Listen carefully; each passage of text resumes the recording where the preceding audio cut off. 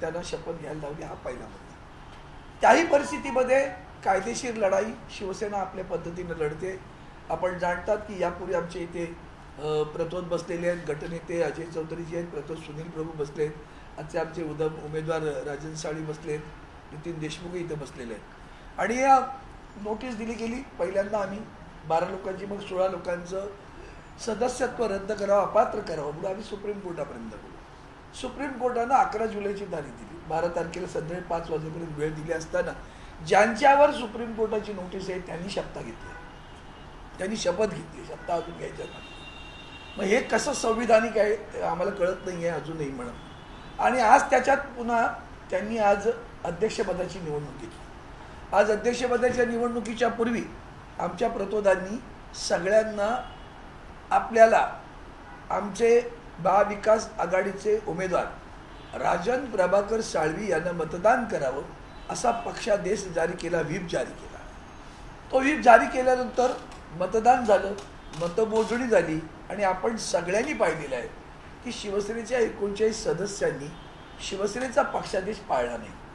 आणि म्हणून आमचे गटनेते मतमोजणी करून निकाल जाहीर करण्याच्या दरम्यान स्वतः जाऊन आमच्या माननीय अध्यक्षांना भेटले. पण तत्कीन पीठासीनं ते उपाध्यक्षांना भेटले त्यांना पत्र दिलं. आणखी आम्ही हे एकोणचाळीस सदस्यांनी मतदान केलेलं नाही त्यांच्यावर कारवाई करण्याची मागणी केली. आणि तदनुसार आता संध्याकाळी आम्ही या एकोणचाळीस सदस्यांच्या विरोधात नवीन आलेल्या अध्यक्षांना जाऊन पेटिशन सादर केलेलं आहे की यांनी पक्षादेश पाळला नाही म्हणून यांना जो कलम आपलं परिशिष्ट दहा आहे आपल्या घटनेचं त्याच्यातील कलम दोन एक अ. यामधील एमध्ये त्याचे चार पॅराग्राफ आहेत. ते चार पॅराग्राफला उल्लंघन होते. आणि त्या उल्लंघनानुसार त्यांच्यावर कारवाई केली पाहिजे. त्यांना अपात्र केलं पाहिजे अशा प्रकारची आम्ही नोटीस आज माननीय अध्यक्षांना दिलेली आहे. आणि ते काम करून आल्यानंतर आपल्याला हे सांगावं. म्हणून आम्ही आज या ठिकाणी आपल्याला बोलवलं. आता ही नोटीस आज गेलेली आहे. आता त्याच्यावर नवीन अध्यक्ष काय कारवाई करतात ते पाहायचं दरम्यान दरम्यान आणखीन एक माहिती. एक माहिती अशी की तिथं सोश माध्यमांवर आणि तुमच्याकडे काही ठिकाणी चुकून बातमी गेली असेल. काल रात्री दोन अडीच वाजेपर्यंत ही आमची सगळी मंडळी आमदार मी त्याच्यात होतो. त्या आमच्या शिवसेना कार्यालयामध्ये काम करत होतो. आणि आज रविवार आहे. त्यामुळे आता काय असं विशेष काम नाही की त्या स्टाफला रविवारचा पण त्रास द्या. म्हणून सगळ्यांना बंद केलं. होतं सकाळी काय मिळणार ना कार्यालय उघडू नकोस. तसं त्यांनी कळवलं. तिथं कुठेतरी एक बोर्ड लावून टाकला. कायदा सुव्यवस्था वगैरे असं काहीतरी लिहिलं. म्हणजे अचंब वाटणार आहे आमच्या सुधीर प्रभूने आता त्यांना दटावलं आहे आणि म्हणून असे कुठलीही घटना घडलेली नाही. उद्या सकाळी शिवसेनेचं कार्यालय आपल्याला उघडं मिळेल. काही चिंता करण्याचं कारण नाही. पण तोपर्यंत आत्ता माध्यमं इतकी वेगवान फिरतात की कोणीतरी अशा प्रकारच्या बातम्या पसरवतं आणि भय निर्माण करतं किंवा लोकांमध्ये शंका निर्माण करतं. त्या मनातून काढून टाका. रविवारी असताना अधिवेशन होते हे पण किती संविधानिक वगैरे ते तुम्ही ठरवा नंतर आता. पण तरी सुद्धा राज्याच्या या परिस्थितीत तत्काळ घ्यावं लागलं म्हणून घेतलं असेल तर ही जे काय आहे ते गैर आहे चुकीचं आहे अशा प्रकारची कुठली घटना घडलेली नाही. आणि म्हणून उद्याही ते कार्यक्रम तुम्हाला नेहमीप्रमाणे सोमवारी आमचा स- सगळा स्टाफही येईल आणि तिथे कार्यक्रम सगळ्या मला वाटतं बरं झालं तुम्ही हा. प्रश्न विचारलात ते. मी अस- मी काही घटना तज्ज्ञ नाही. पण तरीसुद्धा घटना तज्ज्ञांची आज तुम्ही पाहिलं असेल की लोकसभेचे secretary general P D T Acharya त्यांचं लाईव्ह लॉमध्ये संबंध कथन आलेलं आहे. आणि त्याच्यामध्ये त्यांनी स्पष्टपणे दिलेलं आहे. Which is the original party Shiv Sena हा पक्ष रजिस्टर्ड आहे. त्या पक्षाला मान्यता आहे. त्या पक्षाचे सन्मान्य उद्धवजी ठाकरे साहेब शिवसेना पक्षप्रमुख आहेत. त्याला मान्यता आहे. त्या पक्षाचेच आदेश चालतात कायद्याने चाल आहेत. आणि म्हणून हे जे काही कोणी येतं उद्या आणखी तुम्ही तुम्ही पत्रकार दहा जण येऊन सांगेल आमचा हा घटनेत आहे तर चालेल का? त्याला मान्यता आहे का? कोण तुम्ही? तेच जे अस्तित्व तुमचं मान्य नाही. आणि म्हणून तो जो पुढचा विषय आहे त्या दोन एक जो परिशिष्ट दहामधील परिशिष्ट दहा दोन एक एक असं ते कलम आहे. त्या कलमातील चारही परिषद वाचा आपण माझी कळकळीची विनंती आहे देशातील संविधानाला आता हे निव्वळ शिवसेनेपुरतं नाही महाराष्ट्राच्या राजकारणापुरतंही नाही याच्या पलीकडे देशाच्या संविधानाच्या मुळावरच घाव घातला जातो. त्यामुळे उभा देश या गोष्टीकडे पाहतोय.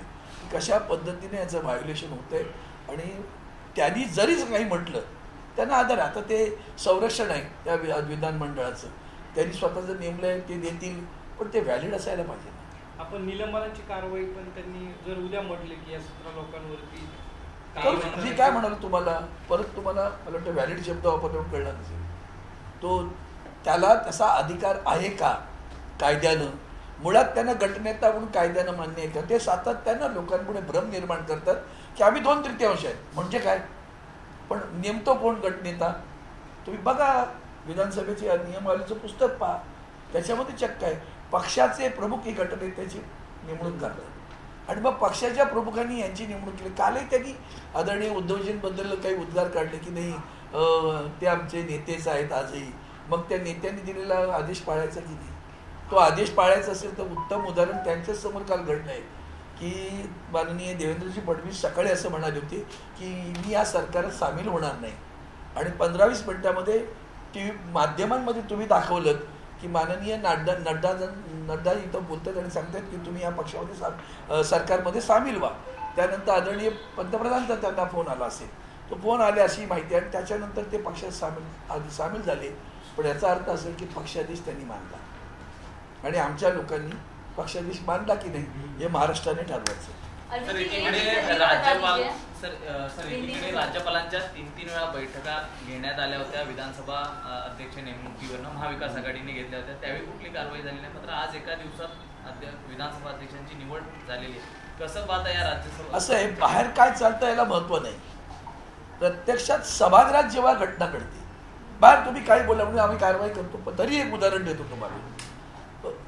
आमच्या राज्यसभेचे सभापती उपराष्ट्रपती व्यंकय्या नायडू. आणि शरद यादव हे बिजू सॉरी नितीश कुमारांच्या पार्टीमधले सदस्य. त्यांनी जाऊन लालू प्रसाद यादवांच्या रॅलीमध्ये ते सामील झाले. ही घटना सभागृहात घडली? ही घटना सभागृहात घडली का? ते रॅलीमध्ये बाहेर घडली. मग त्या रॅलीमध्ये गेली गेले म्हणून नितीश कुमारांनी त्यांच्यावर शिस्तभंगाची कारवाई केली पक्षद्रोहाची कारवाई केली आणि त्यांना राज्यसभेचं सदस्यत्व अपात्र करा अशी मागणी केली. घटना कुठे बाहेर आहे? आणि मग राज्यसभेचे सभापती माननीय व्यंकय्या नायडू यांनी शरद यादवांना अपात्र केलं. ही घटना फार जुनी नाही. त्याच्याविरुद्ध शरद यादव भारतीय सर्वोच्च न्यायालयात गेले आणि सर्वोच्च न्यायालयाने त्यांनी केलेली मग जी काही निर्णय होता तो मान्य केला हेही आपल्यासाठी माहिती असावं. एवढंच मी याच्यातनं तुम्ही समजून जा की काय कशा प्रकारे कायदा एका बाजूला एक हा नियम आणि इथं इथं तेच ब- आम्ही जेव्हा ही मागणी करतो तेव्हा कसे निर्णय मिळतात ते आपण पाहिलं असेल. एवढंच मला या निमित्ताने सांगायचं सोळा आमदारांच्या विरोधात देखील त्यांनी विधानसभा अध्यक्षांकडे तुम्ही उशीर आलात का? हाँ मला वाटतं उत्तर दिलेलं आहे यांच्याकडनं ऐकून घ्या. आम्ही लवकर आलोय मुझे लगता है आज आप जानते हो कि विधानसभा का सत्र शुरू हुआ और विधानसभा के सत्र के लिए आदरणीय महामहिम राज्यपाल जी ने जो सूचना जारी की थी उसके मुताबिक आज शुरू हुआ। मैं इसके मूल पर जाता हूँ पहले। कि आदरणीय राज्यपाल महोदय जी ने माननीय मुख्यमंत्री जी को कैसे न्योता दिया? क्योंकि सवाल ऐसा है कि जब कोई सरकार नहीं रहती तो नई सरकार बदलते समय सिंगल लार्जेस्ट पार्टी को बुलाया जाता है। क्या महामहिम राज्यपाल जी ने सिंगल लार्जेस्ट पार्टी को बुलाया था?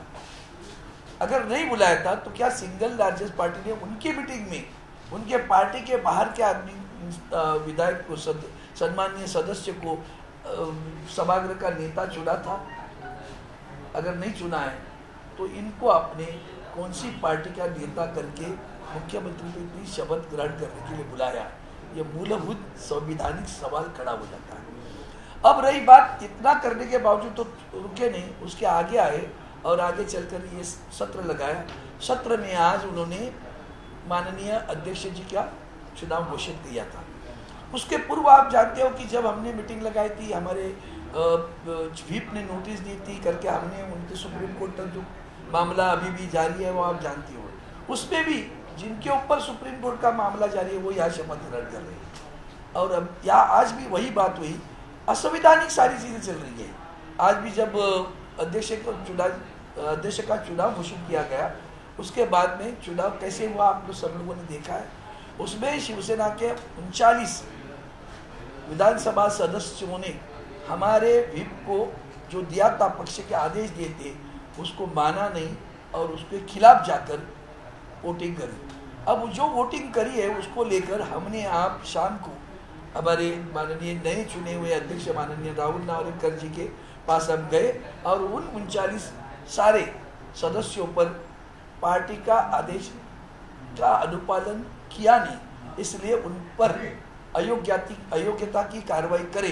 ये मांग करके लेके हमने पिटीशन आज उनको सुपर्द किया है। सर उन्होंने भी उन्होंने भी अग्रता की बात कही है उनका कहना था कि गोगावले ने जिस तरह से खुद प्रतोद अपने आप को नियुक्त किया और सोलह विधायकों की अग्रता की मांग की है उस पर क्या कहना चाहेंगे? अच्छा वो आपने सवाल उठाया। मैं जो कुछ बात कर रहा हूँ वो संविधानिक बातें कर रहा हूँ। और वो संविधानिक बातों में आप देखिए कि जो पार्टी हमारी पार्टी रजिस्टर्ड पार्टी है मान्यता प्राप्त पार्टी है उस पार्टी के पक्ष प्रमुख आदरणीय उद्धव जी ठाकरे साहब है, जो नियम है, कानून है, उसके तहत उनको अधिकार है पार्टी का नेता विधिमंडल के लिए, खास करके जो अपना विधानसभा सदस्य जो क्षेत्र है, उसमें चुनने के लिए उनका अधिकार है। और उन्होंने हमारे अजय चौधरी साहब को उसका गठन किया उनको किसने चुना? खुद ही चुन ले, कौन सी पार्टी है वो? रजिस्टर्ड हुई। कौन है? कैसे उसको लागू होगा? कानून आप आज देख लीजिए लाइव लॉ लाइव करके एक खबर आती है उसमें। लोकसभा के पूर्व secretary general P D T Acharya उन्होंने उस पर सारी चीज़ें मतलब लिखी है और वो कहाँ है? सारी चीज़ें जो हो रही है, असंविधानिक है। ना उनको अलग गुट करके अस्तित्व रह सकता है। ना वो पार्टी के गठ नेता बन सकते, ना वो प्रतोद बन सकते, ना उनको मंत्री पद की शपथ दे सकते। अगर उनको करना है तो उनको इमीजिएटली किसी पार्टी में शरीक होना होगा। वो नहीं कर रहे, सारी असंविधानिक चीज़ें इस महाराष्ट्र में हो रहे। सिर्फ़ महाराष्ट्र नहीं तो पूरा देश इसको देख रहा है।